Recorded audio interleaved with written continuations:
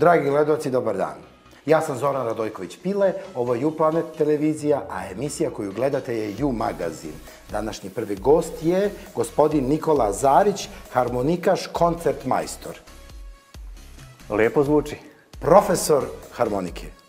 Jo- još malo, uskoro. Pa jesam nešto pogrešio? Pa... Učite đake, znači... U suštini, na osnovu, evo reći ću otvoreno, mo- mog e, pedagoškog kvaliteta, moglo bi se reći da zaista predajem kao pravi profesor. Hvala ti na pozivu, Pile. Čast mi je da malo prozborimo o divnim temama i veliki pozdrav svim gledalcima Juplane televizije. Hvala tebi što si došao. Prvo pitanje je, obično tim pitanjem krećem, odakle si rodom, ali obzirom da si rodom odavde, onda nema nekog većeg i dubljeg smisla. Jedino je zanimljivo da su tvoji roditelji iz Ugljevika pored Bijeljine. Bravo. Republika Srpska, tamo je cijela familija. Kad su oni došli? Pa to je krenulo sa prvim talasom 60. godina kad je djed moj došao. Znači, vi ste treća ili četvrta Ja generacija? sam treća generacija, tata je druga i djed je u, onoj prvoj, u onom prvom talasu došao sa namjerom da zaradi i da se vrati, međutim ostao ovdje. U suštini klasična priča naših gastarbajtera. I eto, moja sudbina je da se rodim u Beču 92. godine. Pritom sam odrastao dvojezično i to sam zahvalan mojim eh, roditeljima. Mm, Jako sam odrastao uz naš mentalitet, zahvaljujući naravno i ovom divnom instrumentu, harmonici koji me jako veže za našu kulturu. A ponosan sam i srećan sam isto što sam ovdje rođen i što sam upoznao drugi svijet mentaliteta, drugi svijet kulture. Ipak e, Austrija kao Austrija ima svoju istoriju i svoj mentalitet koji je neuporediv sa našim, a biti u stanju i, i, i e, kako da kažem, skakati iz, iz jednog svijeta u drugi svijet kulture po pitanju svega i, komu- i komunikacije, smatram da je to velika prednost. E, nije šizofrenija. nije, nije e, meni je to isto zanimljivo. Dečak koji se rodi ovde u Austriji ima obrazovanje od kindergartena jednog budućeg Austrijanca, Da. a ima i kućevno, kućno obrazovanje i maternji jezik. Koji je presudan za sve. Jel da? Jest, Šta tu pobeđuje? Da li u tebi pobeđuje taj Austrijanac ili taj neki čovek poreklom iz Bosne iz Republike Srpske? Definitivno taj čovjek poreklom iz, da kažem, sa prostora bivše Jugoslavije, jer to je temelj svega kako čovjeka put e, vodi kroz život. Nikad ne treba zaboraviti odakle si, ko si, šta si. To čini tvoj, tvoj istinski karakter, tvoj, tvoj istinski profil za tvoj život. I ja jesam odrastao i, u, i sa Austrijancima, imam i prijatelje i, i, i, sve to, ali smatram, smatram da sam bogatiji u smislu, u, u- smislu jezika, u, u smislu razumijevanja drugih kultura. A, ali, ali temelj kućnog e, odgajanja je definitivno materinji jezik i, i, i e, bitno je da se jedan jezik kući govori, to je kod nas uvijek bio srpski. Mada moram reći, tata e, moj je došao možda sa tri godine u Beč. Odrastao je ovdje, govori fantastično njemački, čak taj bečki dijalekt. I definitivno sve je to velika prednost. Dovelo me da razmišljam drugačije, da gledam i na našu narodnu muziku, da gledam drugim očima. To nam je sljedeća Jest. tema. Hajde da počnemo od detinstva. Odrastanje u Beču i već od sedme godine učite da svirate harmoniku. Ko vas je na to... a, I počinjem da igram futbol. I poč... E, to ne znam. Da. Znam samo da, da, da ste učili harmoniku. Da, da. Kod koga? Zašto? Jel vas je neko ne- naterao? I otkud futbol? Pa, prvi sam profesionalni muzičar u, u porodici, u familiji. Niko se prije mene nije bavio muzikom. Tata je bio muzikalan, ali sticajem okolnosti u njegovom vremenu, eto, nije bilo vremena da se ugađa djeci, da se ispunjavaju sve želje, ali jako je bio muzikalan, uvijek je volio muziku. Mama je pritom isto svirala malo harmoniku u folkloru, ali to je sve bilo kratkotrajno. Tako da ima tu, taj moj talent ima neku povezanost sa roditeljima.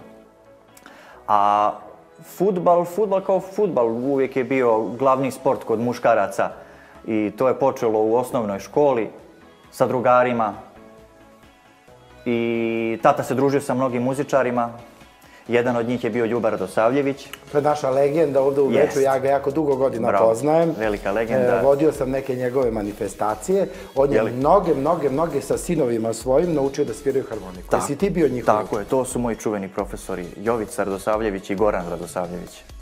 Ja sam više sa Jovicom radio.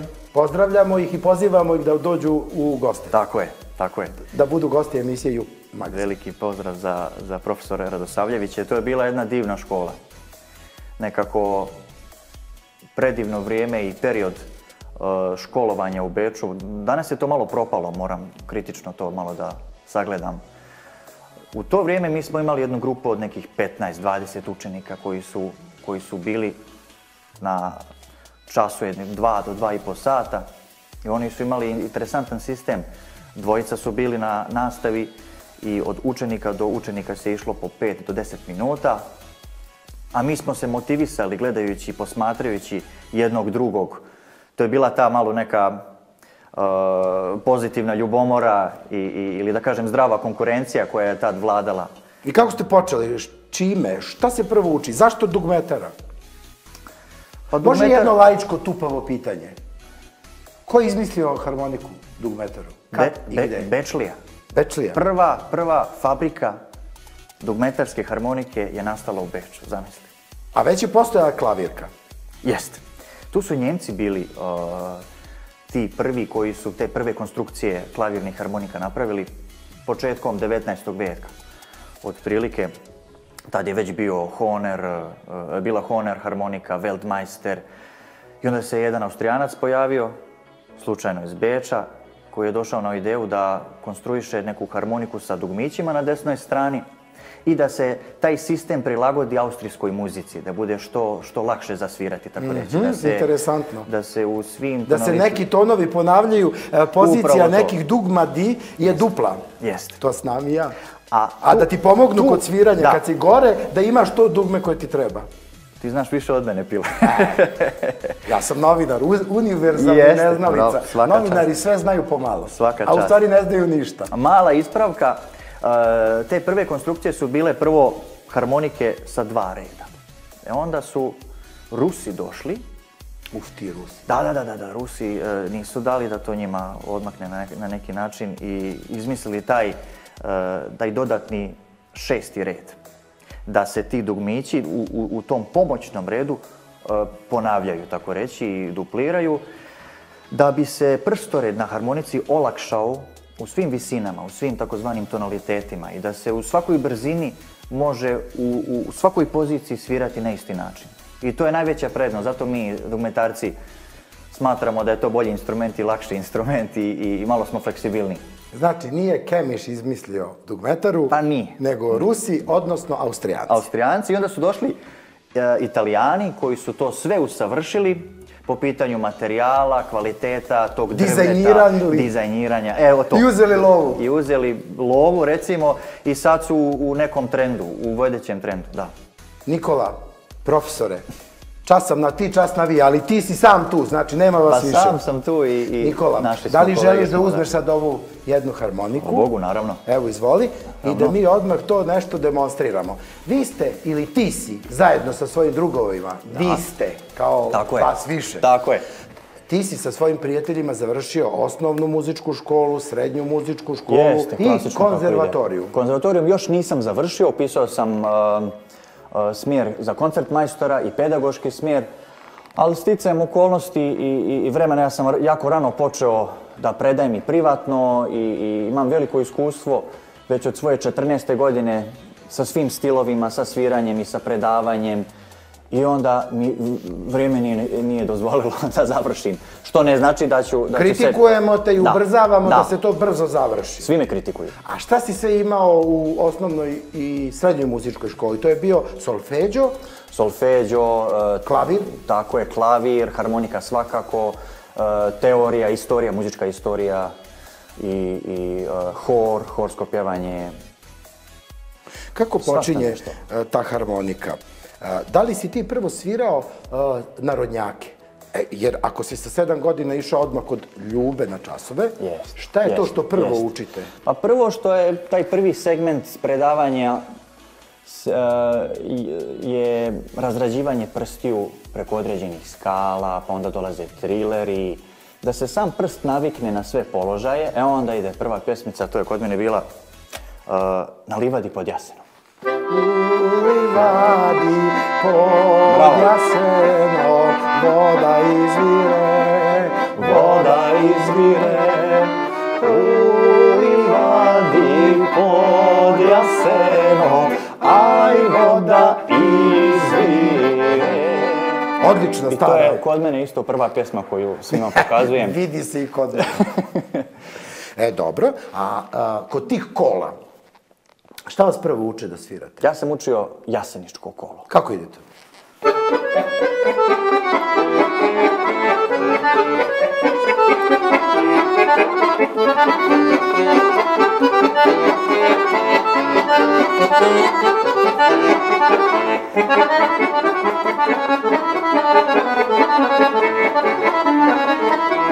Hop, hop!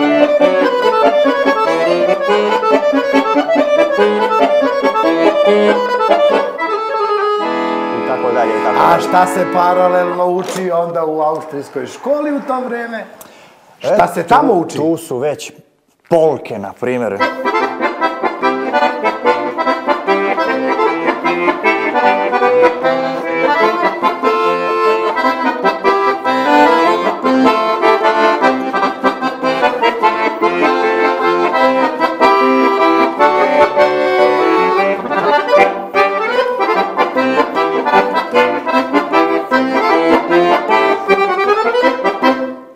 Dalje. Bravo, bravo, Da, baš je da, lepo. da. A, a šta se uči na konzervatorijumu? E, to je već posebna priča. Tu već imamo uh, Argentina. Argenti... Pa e, na konzervatorijumu već imamo čistu klasiku. Franz Schubert, Mozart, Beethoven. A zašto si poneo taj- ovu drugu harmoniku? Da predstavim e, harmoniku na kojoj ja lično sviram totalno druge stilove.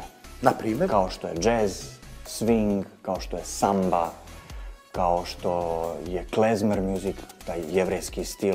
Hoćemo to malo kasnije da Može, čujemo. drage volje, drage Ajde onda, volje. a ka- kad smo već, vidim da nisi nabrojao ovo što si sad rekao, Da. ozbiljnu muziku možeš sa ovom guverini.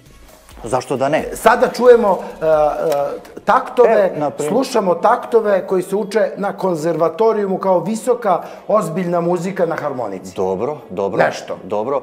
E, mala ispravka. Postoji harmonika sa takozvanim e, baritonskim sistemom, što znači da se melodija isto u lijevoj ruci može svirati. Međutim, ova harmonika, na ovoj harmonici se više prati ritmički, ritmički i ne može se toliko komplikovano svirati. Basira se. Bukvalno se basira, svira se ta neka harmonija i taj ritam. Ali ja ću nešto između svirati što je u, u, u tom repertoaru kao Želimo samo da demonstriramo. mađarska igra. Super.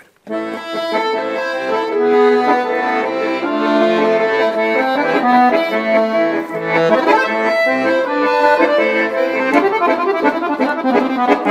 you.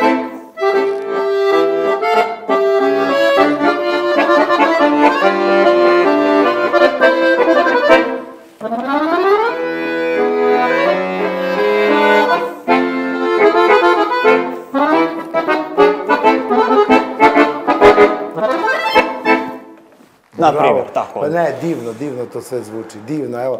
A ja znam a, da se ti razlikuješ od drugih harmonikaša a, po tome što a, želiš i trudiš se da svojim stilom muzičkim, svojim radom i borbom za nacionalno blago naše muzike Tako je. osnuješ i orkestar, narodni orkestar koji se zove tvojim im- imenom Nikole Zarića.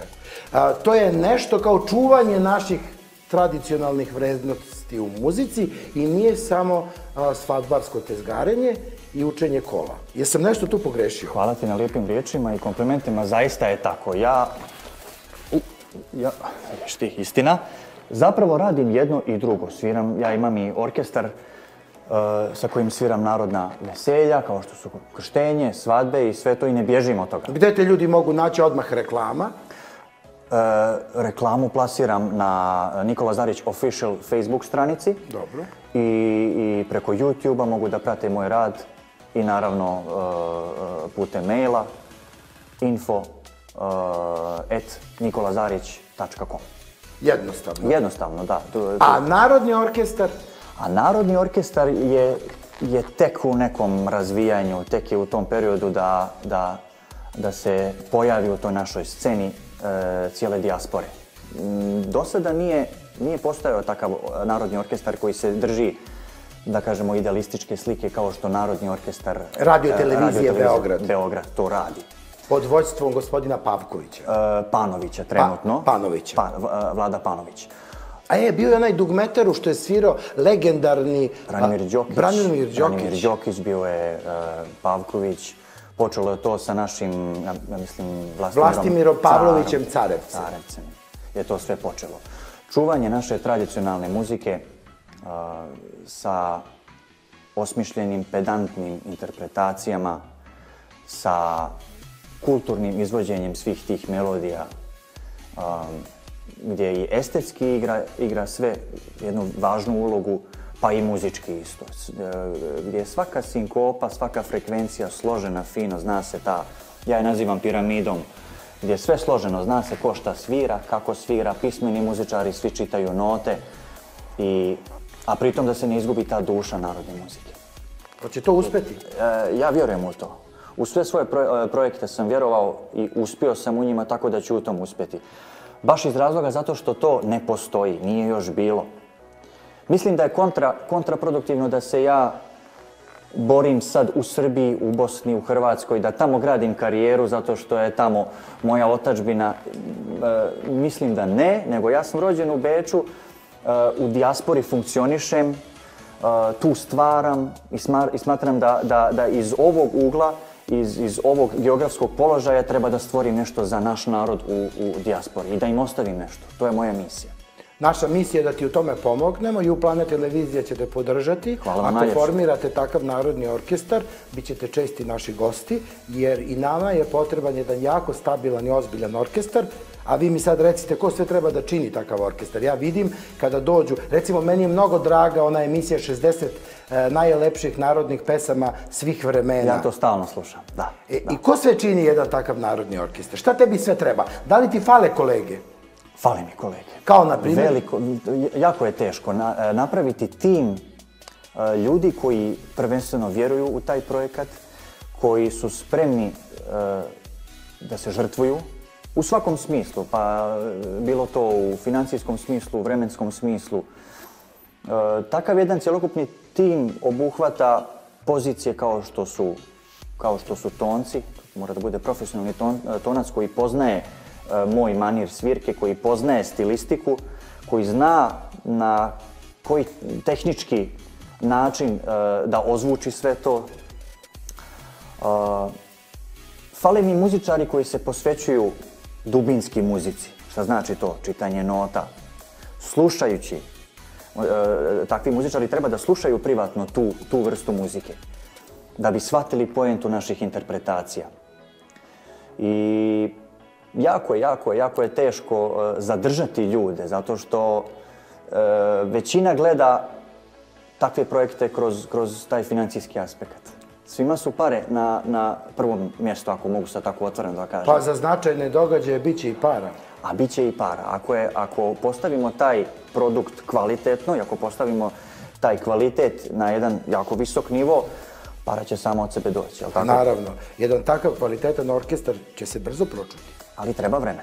E, Podrška i samo napred. da. Ajmo malo da se Hvala. opustimo. Naši Može. gledalci kaže šta ovi sad pričaju o tim stvarima. Filozofiraju. Daj da mi, hoćeš da menjaš ili da ostaneš na njoj. Znaš sam- imam jednu ideju, možda je suluda, ali želim kao novinar da te pitam. Dobro, reci. Da li znaš da sviraš užičko kolo? Znam. E, dobro. Daj da vidim. Hop, hop, hej, na, na, na, na. Hop.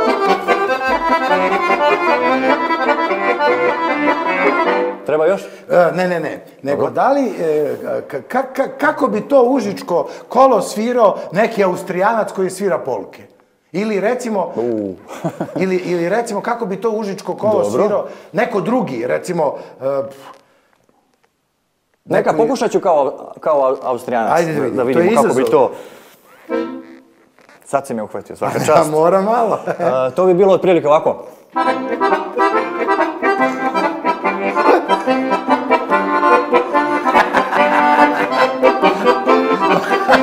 A Moraš da plešeš. A dobro. Moraš da plešeš kao Da Austrijanac. mogu, da, da. Ej, Ali ja mislim otprilike ne, ta- dobro ta- zvuči. tako bi to bilo. Mogli bi nam ukrasti, čuti, nemoj Da, više ni da, da, da, svi- da, nećemo, nećemo. im se. Jest. Kako bi mogli još drugačije da čujemo kako zvuči to užičko kolo? Recimo, da li može Pa- užičko kolo da se odsvira kao vlaško kolo? Kao Vlaško kolo. Znaš koliko vlaha ima ovdje u Austriji? To je izazov. Znači, pa da, da, to je jeres. Svaka čast. Pazi, ovdje, ovdje ima puno vlaha Ovim i nisam- jako se ni- ceni, ja volim nisam. vlašku muziku. Ja obožavam, obožavam, Evo, ali pokušat ću, pokušat ću, da pokušat ću. Da vidimo. Prihvatam svaki izazov. Na primjer,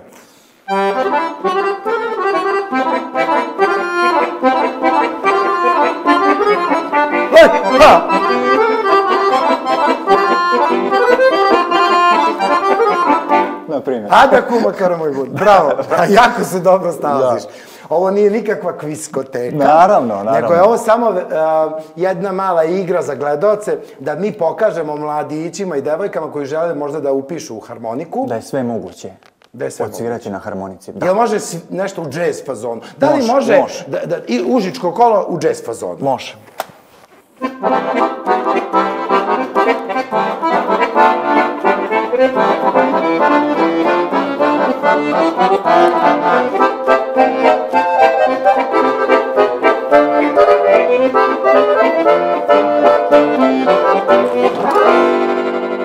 nekom swing fazonu bi to bilo. Svaka čast.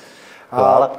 To je lepo, možda se neko baš odluči da upiše a, harmoniku, zato što shvata da nije samo svirati narodnjake, nego da je to instrument na kome se može svašta svirati. svašta svirati meni je zapravo jako žao kada nova generacija naših harmonikaša, kada su toliko manipulisani nekog komercijalnog trenutnog smjera koji je legitiman i koji treba da se svira, ali ostati samo na tom svirati to što se sad svira po svadbama, to je jako šteta.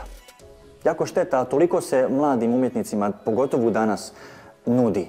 Nudi se master klas, nudi se tutorial na YouTube-u, e, časovi e, privatni i e, razni workshopovi, svašta nešto. Da se to ne iskoristi je jako šteta. Da, da. Zato je to baš e, iskreni veliki apel na sve mlade harmonikaše. Ne ostanite samo na narodnjacima, jer svirati harmoniku nije samo svirati kolo. Da, naravno. Da.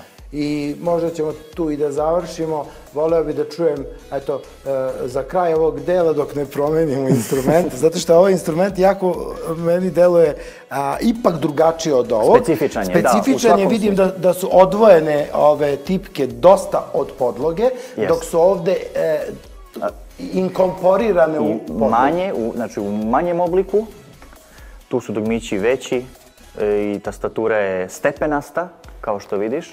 Dobro. Sve je to prilagođeno, počevši od Rusa pa onda od Italijana, prilagođeno njihovom sistemu sviranja i izvođenju e, i da se olakša svim tim pionirima koji su tada započeli da sviraju takve harmonike. Evo, dok ne promenimo harmoniku i ne uzmemo ovu umetničkiju, da čujemo još jedno jako dobro vlaško kolo, pa nek ide život. Ala voliš Vlaško kolo. A tu sam, odrastao sam u tom Jel tako? kraju. Pa jest.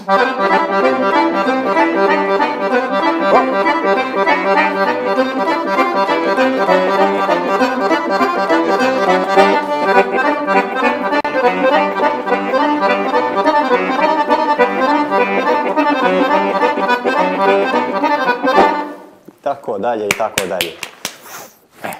Nema trudim šta. se, trudim se da, da e, sviram stilski svašta, da prolazim, da prođem od Baha do Sevdaha i, i A zašto je Kemiš kralj dugmetare? Šta je to kod njega? Ti si ga gledao, slušao si. Jesam, svi mi znamo Navežban je, ko je, dobro. ko je, ko je Kemiš.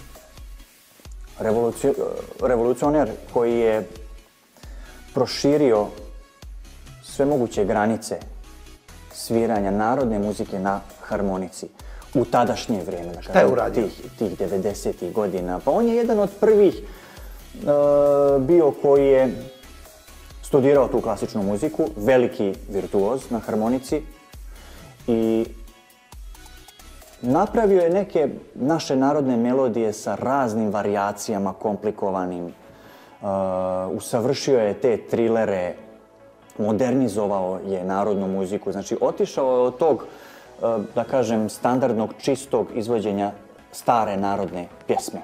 I on je to sve spojio sa klasičnim elementima i postavio, postavio, da kažem, jedan visok nivo već, već tada. Na tu nekih, pa- nekih, nekih prljavih rasviravanja, ima Tako je, nekih... takozvana ševa poznata. Uh, Jel znaš nešto iz njegovog stila? Svi znamo tu temu.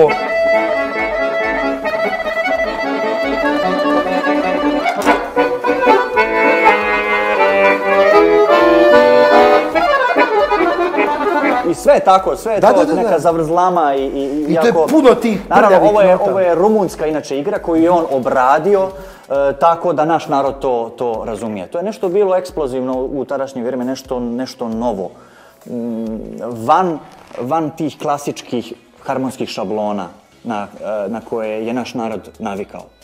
On je to nekako i, i na lijevoj ruci i na desnoj je što komplikovanije, to interesantnije. Napravio je naravno milion značajnih foršpilova našim, našim pjevačima, kao Savira Zusinoviću, Zorici Brunslik i tako dalje. Da, pa naravno, nije ni čudo da su se dve velike pevačke zvezde posvađale smrtno oko ljubavi za njim. Jest. Jedna je bila e, ova Zo- e, Zmijanac, Zmijanac. to mu je bila valjda prva žena, Da, da. a druga mu se je, kako se zove, ova e, sadašnja Brunslik, da. Zorica, Brunslik, da, da, da, da, da, da. Znači, da, da, da. žene su umirale za Keneš. Znale su, da, da, da, kod koga hoćeš. Da. Ko će njima da napravi pošpil? Da. E, hoćemo sad da promenimo harmoniku. Naravno, što da ne. E, dakle, ovo je klasična harmonika s kojom se može svirati sve, a ovo je jedna malo specifičnija sa kojom se rade koncerti argentinske muzike, muzike Južne Amerike. Znaš kako, Pile, na ovoj, Ruske. ovoj harmonici na guerini se također mogu svi ti stilovi svirati, ali šta je poenta i šta je razlika? Oblikovanje tih tonova a, i e, taj neki kapacitet tog zvuka koji izlazi iz ove harmonike i ove... Ova harmonika je onako malo prodornija, glasnija je, što je poznato po našim veseljima da... Svadbarska. Svadbarska harmonika koja mora da zvuči malo, malo drečavo, Da dominira. da dominira. E, ovo je već malo prefinjena verzija jedne harmonike. Dosta je lakša, 10 kila, Victoria se zove, isto iz Italije. Inače, Castelfidardo je e, grad proizvodnje svih tih italijanskih harmonika. E, južnije kod Bolonje dole. To je grad koji živi, čija je ekonomija živi od prodaje harmonika. Koliko košta jedna prosječna goverini za svadbe, ovakva jedna neka, ili možda malo jeftinija, neka srednja? Pa to su ozbiljne harmonike, oko, oko 9-10 hiljada evra. A jel ima i onih od u 100.000 prosjeku. evra? Ima, imaš, to su, to su već klasične harmonike, eto, koje imaju, koje su teže, koje imaju dodatne tonove u lijevoj ruci, da se može onaj baritonski sistem svirati koji sam napomenuo. To su već oko 20.000 evra, 20-25.000 evra e, harmonike. Ozbiljne koncertantne harmonike, isključivo za klasičnu muziku. A ova je napravljena za, te, za taj neki varijate stil, se kaže, za sve svjetske stilove, kao što je samba, kao što je... Možete nam demonstrirati. Možeš naravno, naravno, demonstrirati tu sambu na to. Nešto, nešto u tom fazonu, u, u, u tom samba stilu.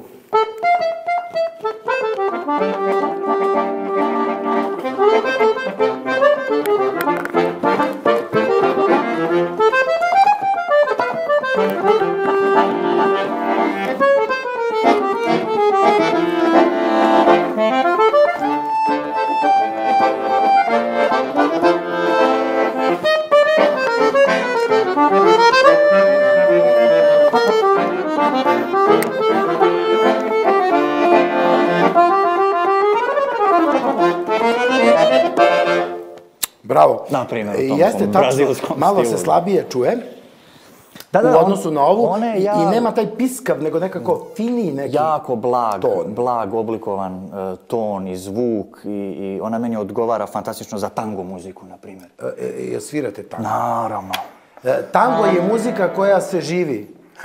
Da, da. Moraš biti tango, čovjek koji živi tango. Koji živi tango. upravo. Odsviraj nam jedan tango, nek ide život. I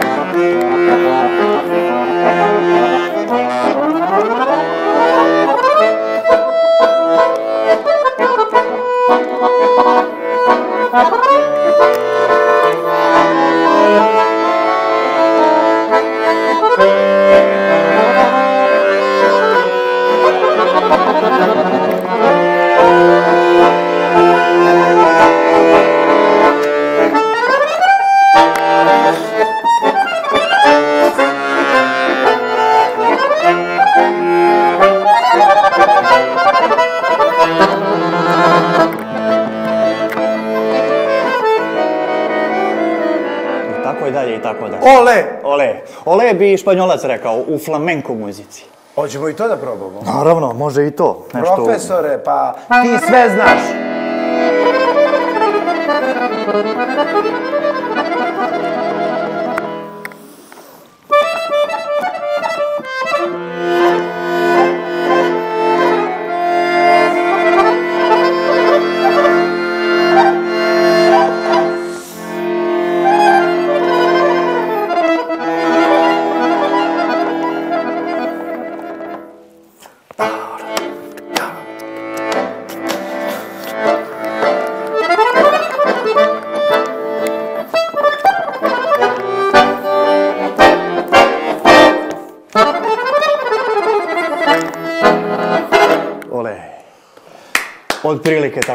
Znaš šta je fantastično?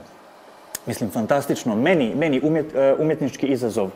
Da primjenim, e, da primjenim pravu interpretaciju e, jednog gitariste flamenko muzike na harmoniku. Šta to znači?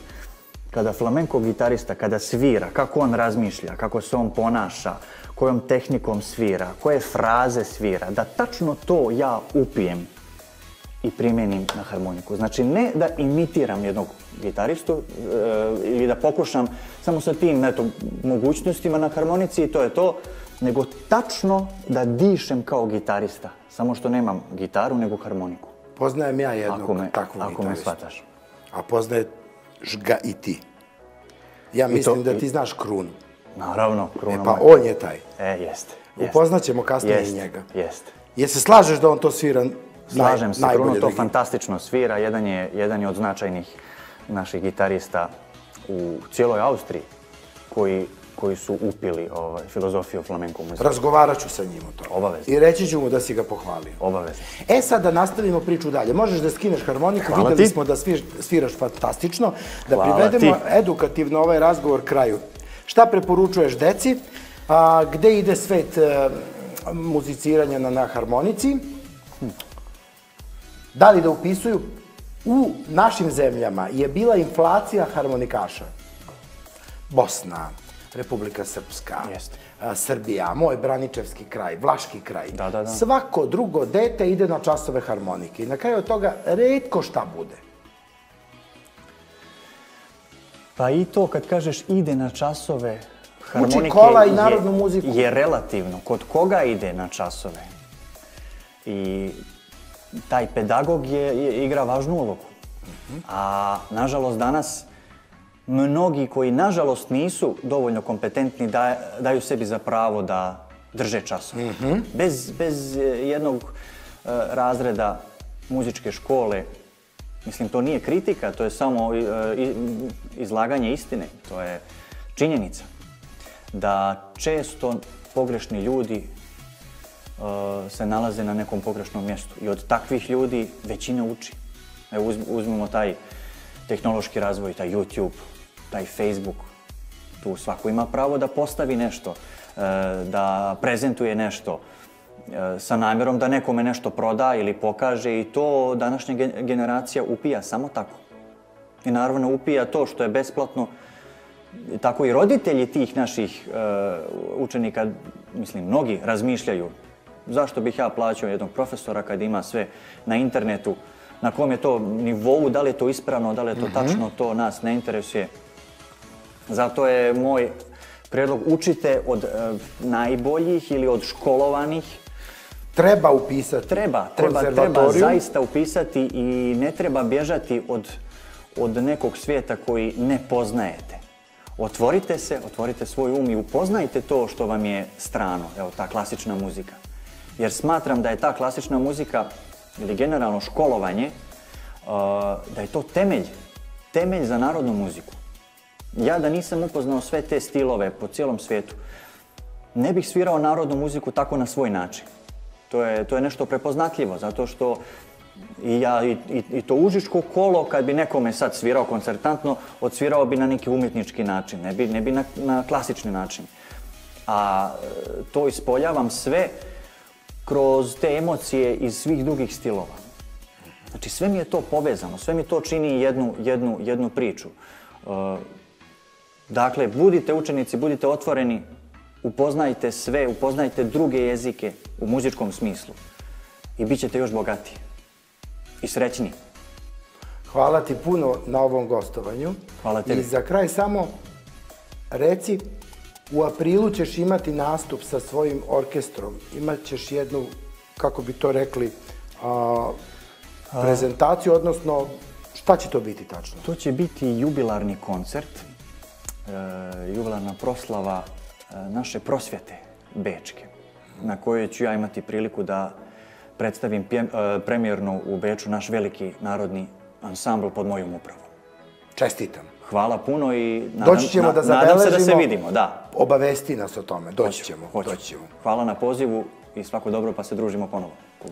Bio je ovo Nikola Zarić, naš gost u emisiji You Magazina, mi nastavljamo dalje.